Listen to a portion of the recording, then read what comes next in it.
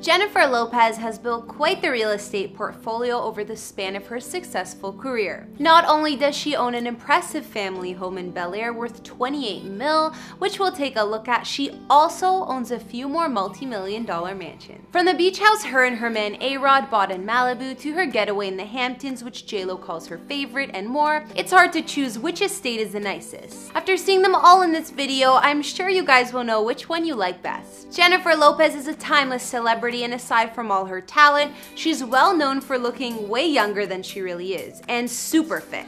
We actually did a before and after video of her on this channel and I found out how hard the woman really does work to stay looking so amazing. She's dedicated, that's for sure. Over her years in the spotlight, Jennifer, or JLo as we know her, has given us so many hit songs and just kept working hard and entertaining her fans. I love JLo and when some of you requested we do a house tour on her, I was excited. At the time of this recording, JLo is 50 years old, which is almost impossible to believe, and she's an actress, singer, dancer, business businesswoman, fashion designer, and more. Not to mention, she's a mama of two. Her man since 2017 is Alex Rodriguez, and at the moment they're engaged. JLo and A-Rod make a perfect couple in my opinion, and since becoming a couple, they've also invested into some properties together. JLo is regarded as the most influential Latin performer in the US according to Wikipedia, as well as being ranked the most powerful celebrity in the world back in 2012. She's received plenty of awards and honors over the years, including a star on the Hollywood Walk of Fame. Sources say that Miss Lopez makes around 40 mil per year, and her estimated net worth at the moment is around 400 million. Either way, it's well deserved because the woman keeps working her ass off with what seems to be new projects year after year between movies, music, and everything else. With all of JLo's fortune, she's purchased some gorgeous properties and owns places all over the US. Hey guys, it's Kara and today we're doing another house tour here on Famous Entertainment. We're gonna take a look at JLo's amazing homes, including her new family mansion in Bel Air, her Hamptons house, and more. If you like these videos, make sure you're subscribed and ring that bell to be notified we post so you can always be up to date. We've also done house tours on the likes of Halsey and Rihanna, and we'll have links to those at the end of this. Be sure to follow me on Instagram because I love connecting with you guys. I've also been reading all your comments and I'm gonna be responding to some at the end of this. I need you to let me know who to do next in the comments down below and whose home you'd like to see. Now let's get into this video.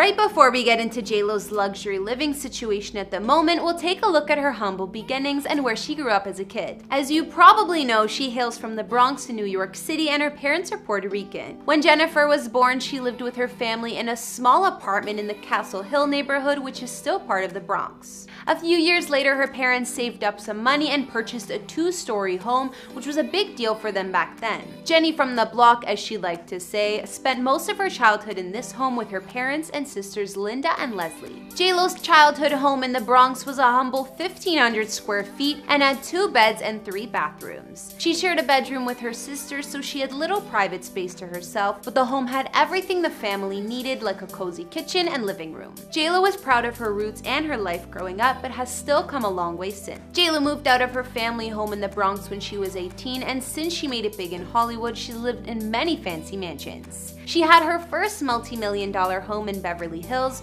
not surprising, as well as a mansion in Miami and more. JLo bought her home in Miami way back in 2002 and kept it until 2005. She sold it to a couple and more recently the famous musician Phil Collins bought this house for a crazy 33 mil. The home is over 12,000 square feet and sits on 1.2 acres of land. Not to mention it has 200 feet of waterfront overlooking Biscayne Bay. With all the palm trees, there's also plenty of privacy. More recently, JLo got rid of her mansion in the celeb-filled neighborhood of Hidden Hills for 10 mil. This home was a massive 12,129 square feet with 9 bedrooms and 12 bathrooms. She purchased this estate that sits on over 3 acres of land back in 2010 when she was still married to her baby daddy, Marc Anthony. Her Hidden Hills mansion was made up of two huge structures, a main house and then an entertainment pavilion which was connected by an interior bridge. Of course, the mansion had fancy formal living and dining areas, a huge family room with a bar, and the master suite offered a fireplace, private terrace, ensuite bathroom, and not one, but two walk-in closets. The two-story entertainment wing had a one-bed and one-bath staff apartment with a full kitchen, lounge, and poker nook, a 20-seat movie theater, a gym and dance studio, a recording studio, and a glam factory, with four walk-in closets, massage room, and hair and makeup stations. Despite how impressive JLo's Hidden Hills mansion was, she decided to upgrade to her Bel Air place. Our Jenny from the block also kept a couple multi-million dollar spots in her home of New York City, but definitely far from the Bronx. One was a duplex penthouse worth over 26 mil and the other apartment was smaller but still 17 million. However, more recently, her and A-Rod decided to sell the New York real estate and instead got their Malibu getaway house. Let's take a look at the spots JLo currently spends her time at. Early last year, JLo and A-Rod purchased a three-story beach house in Malibu. Of course, Malibu, California is just west of LA and well known for its celebrity estates and beaches, including the large Zuma Beach. The couple spent 6.6 million for the Malibu pad and it has 50 feet of beachfront and views of the Pacific Ocean. In fact, all you can see through the windows in the living room is the beautiful waterfront. And if the ocean is too far away, there's a jacuzzi on one of the balconies to relax in. JLo's Malibu getaway is 4,404 square feet and has four beds and three baths. The master suite occupies the entire top floor,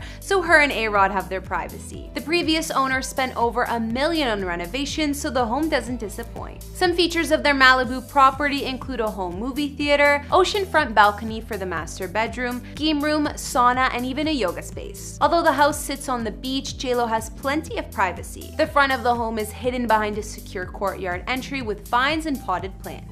I'm sure the whole family gets to enjoy beach escapes at this house. In the past, JLo has said her favorite property of all is her place in the Hamptons. She told Hola magazine it was her dream home. So what does this mansion look like? Let's see. She got this place back in 2013 and it's located in Water Mill, New York. Of course, this is a section of the Hamptons, the popular and high-profile summer destination for well-to-do New Yorkers. I'm sure when JLo was growing up in the Bronx, she didn't imagine she'd have a mansion here one day. JLo's mega mansion in the Hamptons cost her over 17 mil and sits on 2 acres of land. It's 14,000 square feet and has 7 beds and 9.5 baths. The main house has multi-wings and there are additional living quarters and two detached structures. The Hamptons home has 7 fireplaces, 5 inside and 2 outside, outside, three or more car garage, two laundry rooms, and even an elevator to take you from floor to floor in the home, in case you don't want to use the stairs. The entryway of the home has gorgeous hallways which connect all the wings of the home. The living room is almost 35 feet long, and of course there are sweeping staircases. The home offers heated marble flooring throughout. JLo's master suite here has a private foyer, a 600 square foot bedroom, and a seating area with windows all over,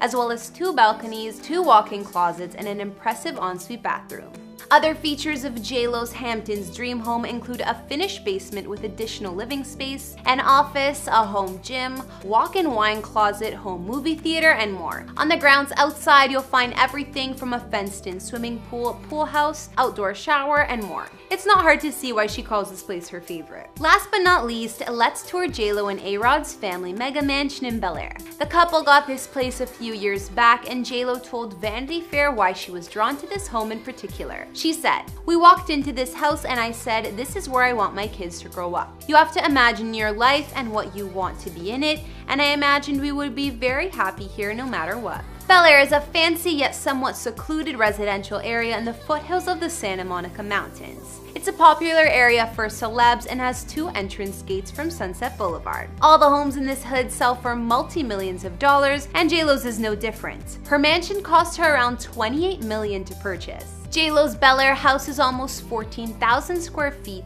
and has 7 beds and 13 bathrooms. It sits on 2.3 acres of land and let me just say this property has everything you could imagine and then some. The land itself is full of greenery and natural gardens which also add a ton of privacy to her estate. There's also enough parking space for 17 cars, which I guess comes in handy if you're having a party. The mansion was designed in a French country style and I personally love the mix of classy and cozy. The main living room has high ceilings and open views of the garden with a gorgeous patio just outside. Some features inside JLo's house include a dream kitchen, a hidden bar, and a home movie theater with 20 seats. 20 or 30 seats, I can't remember. Either way, it's big. The house even has its own pub. And the outside of the Bel Air mansion is probably even more impressive. There are two guest cottages, one with a screen porch, and something I've never seen in a backyard before, an amphitheater with seating for a hundred people. JLo can even have her own concert rehearsals there. The grounds look almost jungle-like and there's a bamboo forest, vineyard, and a covered bridge you can walk across. There's a bar, an area with a fire pit, and a vegetable garden. You'll never be bored either considering there's a games room, mini golf course, and a massage room if you're feeling more like relaxing. My favorite part of JLo's yard might just be the pools. Yes, there are more than one. Not only is there a gorgeous infinity edge swimming pool complete with a spawn fountain, they even have their own private man-made lagoon. So after seeing JLo's gorgeous family mansion in Bel Air she lives at with her fiance A-Rod and the kids, it may just be one of my favorite celebrity homes to date. From all of the greenery and outdoor features like the infinity pool and lagoon, and the luxury yet homely decoration and vibe, I think it would be my dream home too. If I had $28 million, that is. JLo has called plenty of multi-million dollar houses home over the years, and she still currently owns more than one. We've seen her in A-Rod's Malibu beach house, her mansion in the Hamptons, and her main house in Bel Air. Which one did you like best? Or did you like one of her previous homes better? I think that JLo did a great job building her real estate portfolio just like she did building her successful career and empire. And it doesn't seem like she's slowing down anytime soon. Since I love hearing from you guys and reading your comments, now I'll shout some out from previous videos. If you want me to read yours next time, leave me something nice and I just might. On the Kanye West house tour we just did of his two new ranch properties, Justin Johnson said, I think the ranches are amazing and your presentation is awesome. Keep it up up, Kara. Thanks, Justin. I appreciate the compliment. I like the ranches too. It's so much property, it would be fun to own. Also on our Kanye vid, Carmen Dilchard said, I catch up with you every Sunday. I try to during the week, but sometimes it's hard. But you really are entertaining. Thanks for what you do. Namaste. So many thanks, Carmen. I'm glad to hear you're staying up to date with the channel. And finally, on our Nathan Schwamp before and after, Susie Synth said, Subbed, I feel you have a classy way of reporting the tea. Thanks, girl. I love new subscribers and I try to keep it polite to whoever I report on. Alright, guys, that's all I could find on Jennifer Lopez's mega mansion in Bel Air and her other properties. What did you guys think about her mansion? What was your favorite part? Like I said, I think JLo's Bel Air mansion is my personal favorite, but all of her properties are beautiful. Definitely hard to choose.